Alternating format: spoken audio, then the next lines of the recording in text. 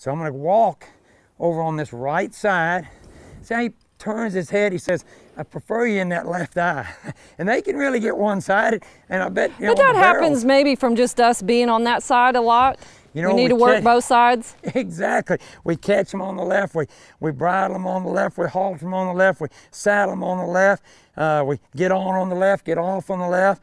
You watch most people then when they get on, they ride off to the left and uh, load them on the left, and you bet they'll get one-sided, and it's usually to the left.